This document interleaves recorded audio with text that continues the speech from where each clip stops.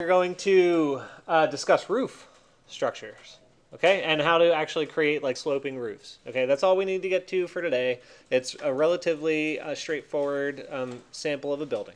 So um, anyway, roof structures, believe it or not, are also profile based. If you could take a guess at which type of profile you would draw, what do you think it would be? What would it look like? Profile of a roof. Try to think how it would go beyond it a little bit, beyond the walls. Yeah. Well, yeah. I mean, but is it going to be like a section or plan view profile? What's it going to be? Well, you already knew that.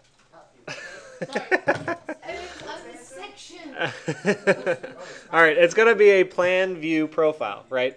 So the roof, its function is to cover things. So you draw what it covers, and then you have other analytical properties that are going to define what it looks like, like the angles and stuff like that. So um, under architecture, we can click on roof, um, and uh, yeah, level two is kind of all right. Yeah, we'll work with level two. Um, it's saying you created the roof on the lowest level. Would you like to move it to a certain level, right? That's just, you know, I might be looking at level one, but I want the roof to be associated with another level. Does that make sense? Yes. So um, I'm going to say yes. And uh, here, uh, the way I'm gonna, the way I typically do this is I try to trace the the profile, and then I just kind of offset in order to create something. However, we have that little nook in the bottom, so I don't need to draw that nook because it's going to cover that thing pretty well. So I'm just going to draw a rectangle around the whole thing. Um, don't worry about what these little locks are. We're going to talk about that stuff later. But I do want to point out to you this little um, triangle symbol. Okay, the triangle symbol is the symbol for slope, and that's going to exist next to any roof um, pro, roof profile segment that is going to slope upward from that point. So um, basically, if I select one of these lines, um, it has a 9 to 12 slope that's going up this direction. Okay. Um, so real quickly, I'm just going to uh, hit the check bar. Well, actually, sorry. Before I hit check, um, Alejandro, you said that it was supposed to extend beyond the building. Well, you could do that manually by like moving the lines. Like I could select this and say uh, move is MV, and I can move it like a foot out. Or I can take the offset tool. That's uh, that one up there. It's uh, this guy right there. And I can hover over one of those lines. Um, but the cool thing about the offset command is just like when you tab through to select things, um, you can tab through to do offset on the whole profile. So I offset the whole profile, and then I tab and select the whole interior profile and delete that. Did you guys see that? Where's the offset button? Um, I'll go back to the beginning. Okay, so guys, off your eyes off your screens up here. Um, you um, grab the offset button right there, top left corner, ish, um, and then you tab when you're on that element, and then deactivate the command. You can select that whole interior profile, and then delete. It's going to be one feet. Yeah, you only need one profile. Oh, one foot. Yeah. Yeah, because you didn't tell what it's going to be, it's change of the, how much it's going to offset, and already is on. Yeah, I, I didn't change I, I didn't change that. Let me show you that as well.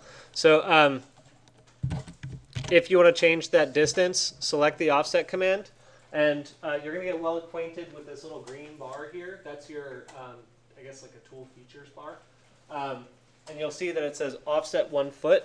You can actually just grab that and change that to two feet if you'd like, and it'll go a little bit further out. No, that one's not doing it. Now it doesn't want to behave. What's that? I don't get offset, I get overhang. No. Now it's not behaving. Well, alright.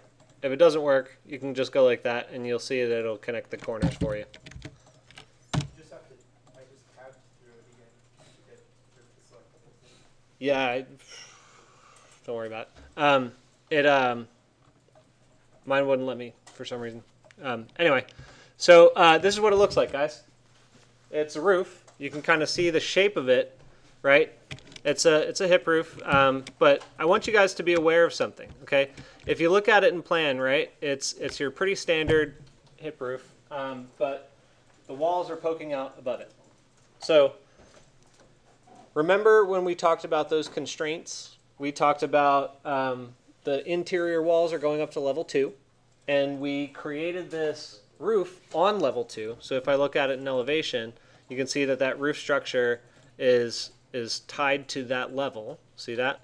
Um, we need to take all of these exterior walls, and it doesn't matter how high they are, right? So part of the reason um, I was okay with leaving the height of this wall um, different than the rest is because it, it really doesn't matter that they are different because you can take all of those walls and tie it to the underside of the roof. And I'm going to show you that real quick. Everybody needs to pay attention. Everybody. For that aspect, kind of like, would you like to attach the highlight walls to the roof? And I say yes, and it's completely clean. Yeah, I might have accidentally just escaped it. It does do that um, typically. So anyway, uh, there, if you tab and select all the exterior walls, you can go to attach top to base, and then you do that, and it trims everything down. You guys need to see that again? Yes. Okay, all the walls are sticking up. Just hit tab to select all of your exterior walls that are contiguous.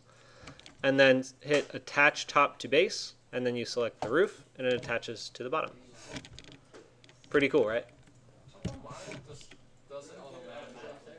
Um, it, mine probably did too. I might have reactively just hit escape. Um, very good point though, uh, guys, with the uh, attaching things to the roof. So this is more of a, a personal preference for it. I never let it do it automatically. Because right now, you might know that all of those roof elements you want to, or all of those wall elements you want to be attached to the roof, but that's not always the case, right? You when it does it automatically, you can't control which elements it's selecting. So I generally just ignore that, and then I do what I want manually. So um, anyway, I wanted to show you just one other thing with that.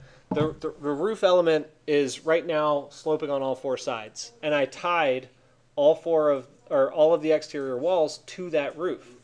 But if I change the roof profile, I will be able to, or the the walls will be able to automatically adjust to the profile of the roof. So I'm going to change this um, roof so that these front faces aren't um, aren't sloping, right? Um, so I'm going to edit. Uh, let me go back to plan view. So let's turn off that slope, and that's done by selecting these two, and then you go into your properties menu and you can turn off defines roof slope. Okay, so pay attention to this part real closely. When I hit check, there you go. So that wall adjusted to the new roof style. You guys need to see that again? Okay, going back. We've got that roof. I'm going to say edit roof, go into plan. I'm going to select these. I'm going to uncheck defines roof slope. Right? You won't see any triangles on those after I turn that off. Then you finish up the edit and you go out and it's there and adjusted.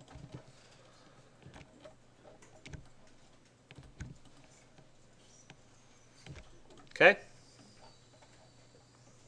All right. So, any questions? Awesome. So I'm going to come around and make sure that you guys get to this level. I'd like you first to do the the hip roof and then swap it out, um, and then we'll